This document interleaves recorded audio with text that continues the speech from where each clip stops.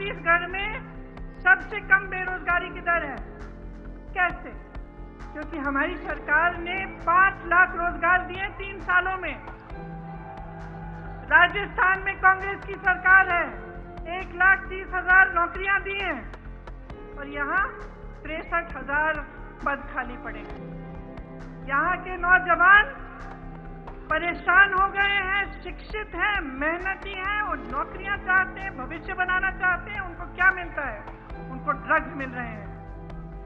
नशा फैल रहा है, क्योंकि उन बच्चों में वो इच्छा थी कि वो कुछ करके दिखाएँ। रोज़गार लें, अपने परिवारों की देखभाल करें, पैसे कमाएँ, और वो इच्छाएँ पूरी नहीं हो रही। इसलिए भटक रहे हैं, और नशा फैलाया जा रहा है, लेकिन रोज़गार नहीं दिया जा रहा है। ये सच्चाई है यहाँ की कि 30 लाख आबादी है यहाँ, युवाओं की लगभग, और 15 लाख बेरोजगार हैं।